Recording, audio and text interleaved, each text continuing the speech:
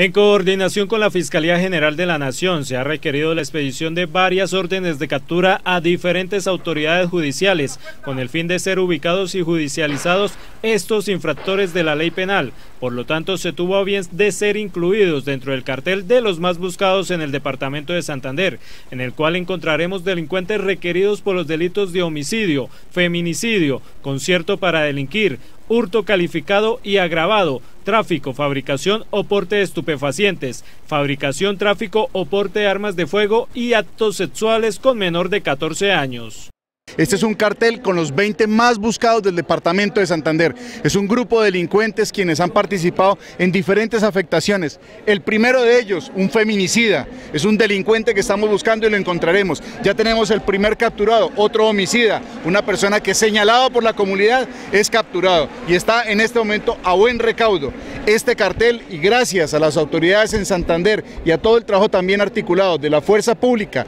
de nuestro sistema judicial y de los jueces de de la República, aquí no tenemos reportes de sujetos que estén con medidas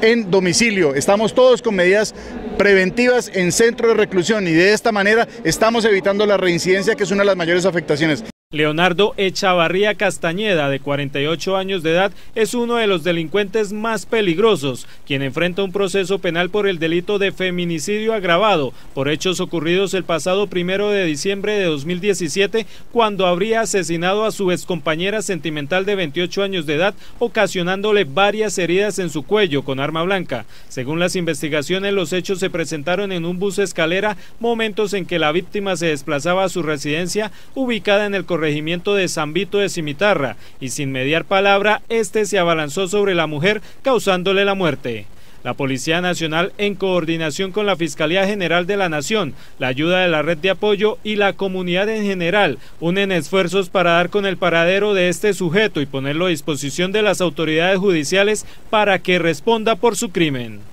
Es un hecho ocurrido aquí en, Santander, desafortunadamente una mujer con quien se encontraba, este sujeto era su compañero sentimental, la asesinó de una manera leve con arma blanca, degollándola, estamos en ese trabajo investigativo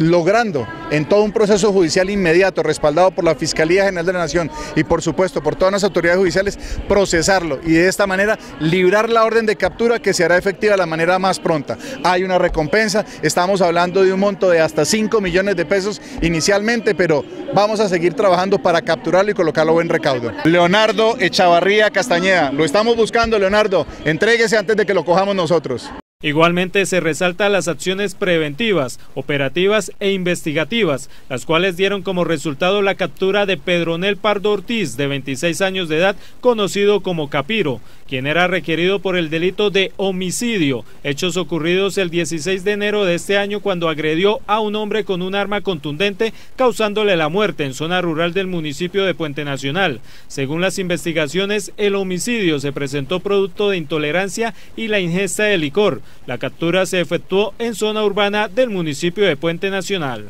La red de participación cívica son nuestra mejor oportunidad en este momento para lograr la comunicación constante en las actividades que desarrollamos de control social, de tranquilidad, de percepción y de, por supuesto, contrarrestar la acción de los delincuentes. Es el apoyo fundamental a las autoridades, el respaldo que le da la comunidad a través de la red de participación cívica, el que nos permite ser exitosos. Aquí tenemos sujetos que, hacen, que son, eh, son partícipes en redes de tráfico de estupefacientes en grandes cantidades de igual manera hurto a personas y algunos de ellos máxime en hechos que atentan contra la vida, homicidas que se encuentran prófugos pero que serán capturados prontamente. Por consiguiente, se continuará en el desarrollo de diferentes actividades operativas, con el fin de capturar la totalidad de los requeridos en el cartel de los más buscados del departamento de Santander. La policía invita a la comunidad a denunciar a la línea única de atención y emergencias 123 o a la estación de policía más cercana la ubicación de estos sujetos.